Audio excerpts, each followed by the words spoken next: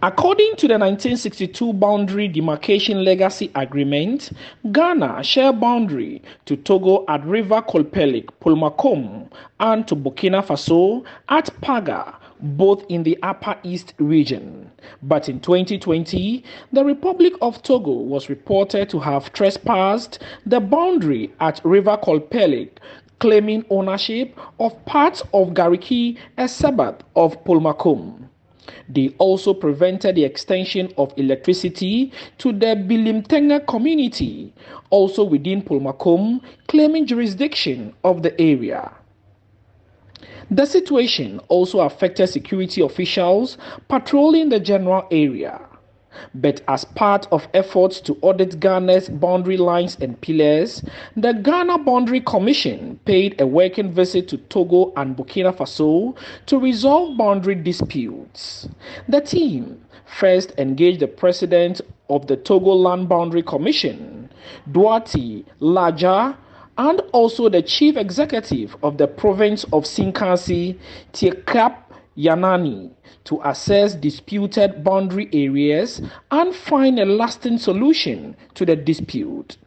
After an evaluation, the Togo Boundary Commission agreed to work with pre existing demarcations. Addressing the media, National Coordinator of the Ghana Boundary Commission, Major General Emmanuel Kotia, said the dispute has been resolved and the population of both countries shall be educated to respect the demarcations. We've agreed that we would, both the Ghana Boundary Commission and the Togo Boundary will jointly um, go by the legacy documents that has that was established so far the boundaries are concerned from, two, from 1927, the legacy document of 1927. Now, we have also agreed that areas that were not accessible by Ghana towards the river line uh, should now be open to Ghana and uh, the Ghanaians are now ready to move. The Togolese have also come to an understanding that our security agencies should to patrol around there uh, based on the understanding that we have come. The team also engaged authorities of the Boundary Commission of Burkina Faso at Paga. The aim was to resolve issues about activities of Nyuaga Mining Company Limited around Sapeliga in the Bawku West district. It was also to evaluate and install all missing boundary pillars along the Paga boundary line. Speaking to Citi News, Major General Kotia said both parties have agreed on a roadmap to resolve the issues.